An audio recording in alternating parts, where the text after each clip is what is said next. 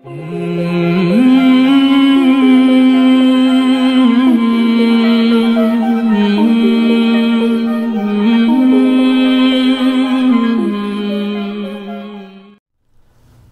Remind कराता चलूँ कि सैयद साद कादरी इंग्लिश चैनल एक है और इसी तरह मैंने अभी recently Syed Saad Qadri Quran recitation का चैनल भी लॉन्च किया है।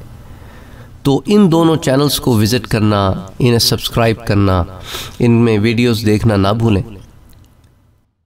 अस्सलाम वालेकुम वरहमतुल्लाहि हूर सीरीज़ में आज जिस वाक़े का आपसे ज़िक्र करूँगा, वो एक नौ मुस्लिम, यानी कि न्यू मुस्लिम, नया नया जो मुसलमान होता है, उसके इंतज़ार करने वाली हूर का ज़िक्र है। ये वाक़ रौदतुर्रियाहीन में आता है। अब्दुल वाहिद बिन जैद से रिवायत करते हैं। वो कहते हैं कि एक मरतबा मैं जहाज़ में सवार था और बड़ी बड़ी मौजें उठ रही थीं। जहाज़ एक जजीरे पे जा पहुँचा। इस जजीरे में हमने देखा कि एक शख्स है, वो एक बुत की परस्तिश कर रहा है। हमने इससे दरियाफ्त किया कि तू किसकी इबादत करता है? इसने कहा, मैं इस बुत की इबादत करता हूँ। हमने कहा, ये तेरा मबूद, तेरा खालिक कैसे हो सकता है? ये तो नहीं हो सकता। इसे तो तूने खुद बनाया है। जिसे तूने खुद बनाया, वो तेरा खालिक कैसे हो सकता है? तू उसकी इबादत कैसे कर सकता है? भाई, इबादत के लायक तो वो है जिसने सारी चीज़ों को तख्लीक किया हो। इस बुत परस्त ने कहा कि भाई, तुम किसकी इबादत करते हो? हमने जवाब दिया कि हम उस ज़ात पाक की इबादत करते हैं, जिसका आसमान में अर्श है और ज़मीन में इसकी जो है सल्तनत है और वो ज़िंदा भी करता है, वही मारता है, वही तकदीर भी जारी करता है। इसके नाम पाक हैं, इसकी अजमत व बढ़ाई नहायत बड़ी है। उसने पूछा, तुम्हें ये बातें किस तरह पता चली? हमने कहा, उस बादशाह हकीकी ने हमारे पास एक सच्चे रसूल को भेजा और उसने हमें हिदायत की। फिर उसने पूछा अच्छा वो रसूल कहाँ है और उनका क्या हाल है? हमने जवाब दिया कि, जिस काम के लिए अल्लाह ने उन्हें भेजा था, जब वो पूरा कर चुके तो अल्लाह ने उन्हें अपने पास बुला लिया। उसने कहा अच्छा रसूल खुदा ने तुम्हारे प्यास क्या निशानी छोड़ी है? हमने कहा, अल्लाह की किताब। उसने कहा, मुझे दिखाओ। हमने कुरान शरीफ जो है लिया और उसके हाथ में उसे दिखाया। तो उसने कहा, भाई, मैं तो नहीं जानता इसको कैसे पढ़ना है। तुम ही पढ़ के सुनाओ। हमने एक सूरा पढ़ के सुनाई।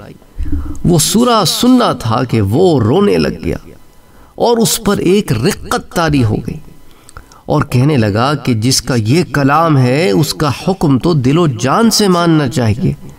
फिर कहने लगा कि मुझे तुम्हारे दीन में दाखिल होना है। मैं तुम्हारे दीन में कैसे दाखिल हो सकता हूँ? हमने उसे कलमा पढ़ा दिया। उसने कलमा पढ़ा और दीन में दाखिल हो गया, मुसलमान हो गया। हमने उसे दीन के अहकाम और चंद सूरतें सिखाई।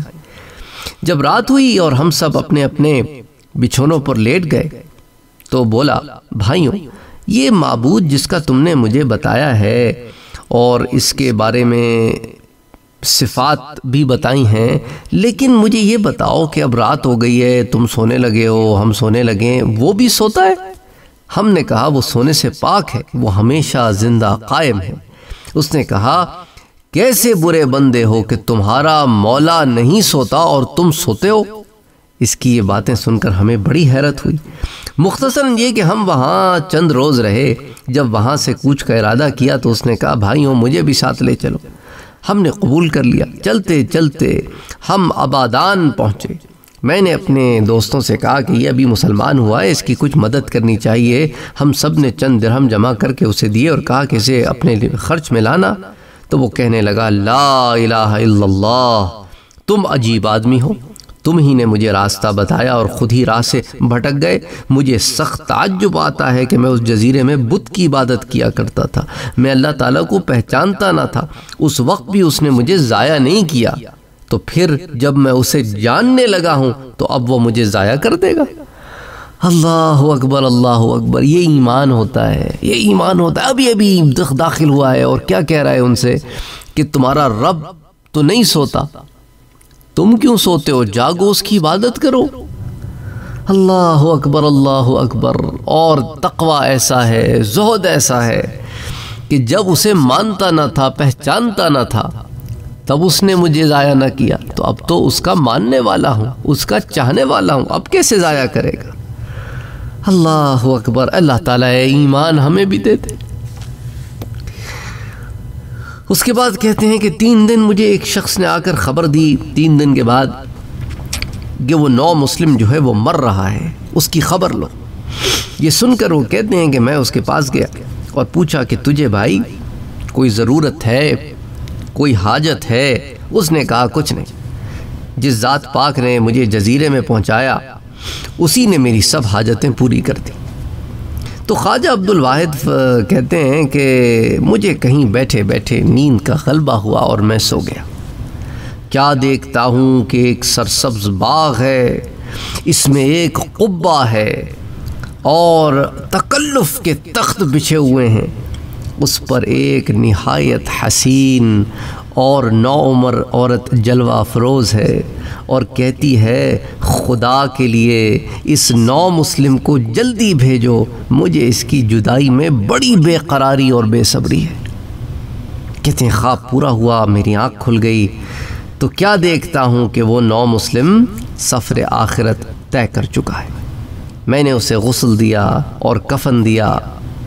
जब रात हुई तो ख्वाब में मैंने वही कुब्बा देखा, वही बाग देखा, और तख्त भी, और वही औरत भी, पर साथ में उसके वो नौ मुस्लिम को भी देखा, और वो कुरान करीम की इन आयात को तिलावत कर रहा था। ये सूरह रात की आया नंबर तेईस और आया नंबर चौबीस है।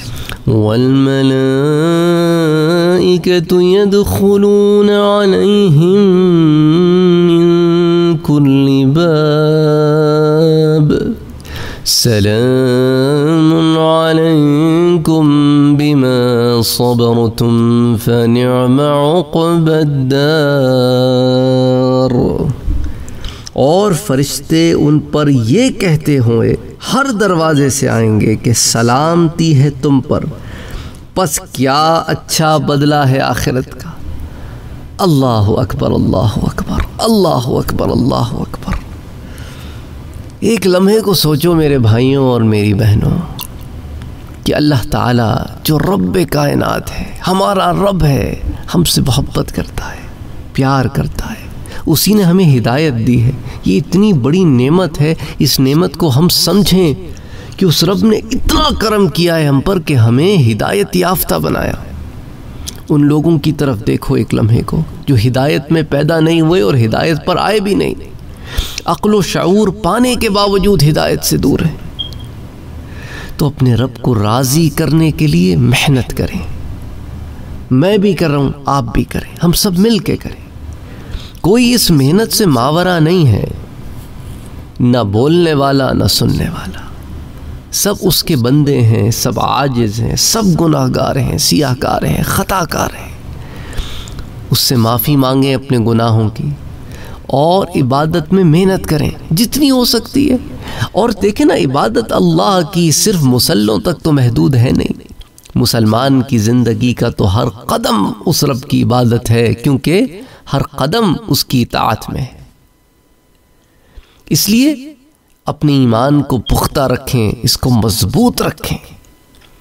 इस नौ मुस्लिम से हमें सीखने को मिलता है कि उसका रब पर क्या ज़बरदस्त ईमान था। अल्लाहुम्मा सल्ली वसल्लम वबारिक अला सय्यदिना व हबीबना व सल्लल्लाहु अलैहि वसल्लम। आपको रिमाइंड कराता चलूँ कि सैयद साद कादरी इंग्लिश चैनल एक है। और इसी तरह मैंने अभी recently Syed Saad Qadri Quran recitation का चैनल भी लॉन्च किया है। तो इन दोनों चैनल्स को विज़िट करना, इन्हें सब्सक्राइब करना, इनमें वीडियोस देखना ना भूलें। अगर आपने अभी तक हमारे चैनल को सब्सक्राइब नहीं किया है तो सब्सक्राइब का बटन दबाएँ, बेल के आइकॉन को प्रेस करें ताकि आपको रेगुलर नोटिफिकेशन अपडेट्स मिल सके और आप हमें हमारे लाइव सेशंस में भी ज्वाइन कर सकें। वीडियो पसंद आने की सूरत में लाइक शेयर और कमेंट करना ना भूलें।